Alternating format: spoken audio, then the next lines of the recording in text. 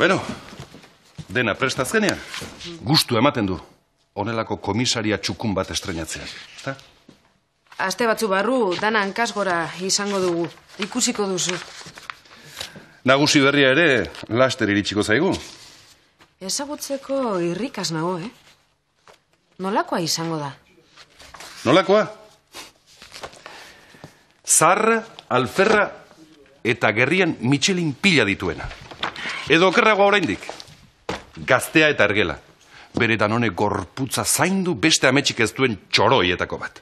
Joe, Agustin. Zu beti gauza guztiei puntatera behar ere. Ez, ez da punta teratzea, nekane. Ara, pentsazazu pixka bat. Arralde bezalako herri koskor batera, ez dute bat aparteko talenturik ekarriko, ez da? Beno. Ah, barkatu jauna segituan gara zurekin. Lasai, ez dokat presarik. Seguru nago piperrutxa izango dela. Zeu ere, Agustin, ez zaude bat piper faltan, eh? Ez da posible. Kolombok baino itxura treketxoagoa du.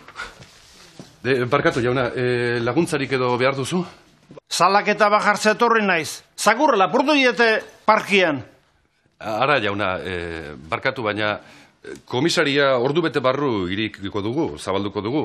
Eta axola zaizu orduan txetortzea, nik neukaten dituko zaitut. Hau pulamentua. Ta bitartien zakurran lapurra, Jesu Kristo galbarka galduzun tokira joana. Ba, ba, ba, ba. Aze genio, eh? Eskerra Kolombo hau gure burua ez den izango. Eskerrak bai. E, barkatu jauna, zu ere berandu xego etorriko bazina, Gura nuke, baina hemen egon beharra daukat. nola? Entzun duzuna.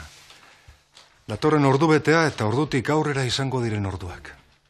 Komisari honetako buruan nauzue. Barkatu jauna, barkatu. Nire hankasartzea izan da. E, ez zaitut ezagutu. E, Agustin iturtza eta zure esanetara. Nekane beitia, barkatu hanka sartzea. Era ez da esan. Gaizki ulertua baino ez. Beiti andereñoa eta iturtza eta jauna. Nekan ez da? Andoni naiz, andoni murua. Urte askotarako. Erne guztiok, e, nagusia heldu data. Kaixo.